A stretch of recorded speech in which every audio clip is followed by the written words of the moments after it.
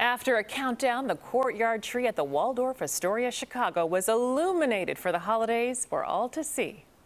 Two, one, A beautiful sight, the tree lighting complete with snowfall to mark the magical moment. The hotel general manager turned on the lights with the help of one of Lurie Children's Hospital's champion families. That's where a child has fought and overcome their illness. The Waldorf Astoria Chicago partners with Lurie to encourage donations for the hospital during the holidays. By the way, take a look at this.